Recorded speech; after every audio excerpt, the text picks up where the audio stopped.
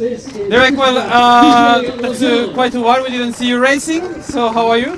Good, good. Yeah, happy to be happy to be back on the road. Uh, just spent the summer doing track stuff, prepping for the team pursuit. So just finished up the team pursuit uh, in Glasgow, and now back to the road.